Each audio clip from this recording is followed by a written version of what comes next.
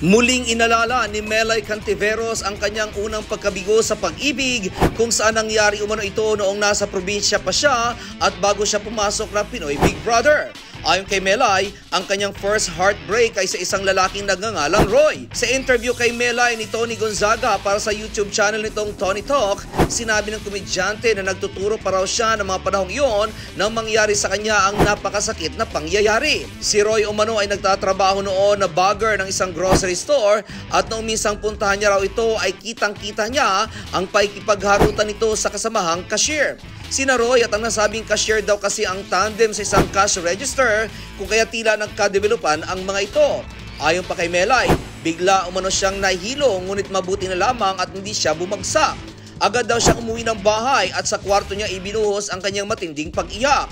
Dalawang buwan niya raw itong dinamdam kung saan pumayat siya ng gusto dahil hindi raw siya halos kumakain. Sinay pa ni Melay na bagamat matagal na niyang nakalimutan ang kanyang pagkabigo, ngunit hindi umano pwedeng hindi niya ito maalala kapag naririnig niya ang awiting Finally Found the Love of a Lifetime ng bandang Firehouse.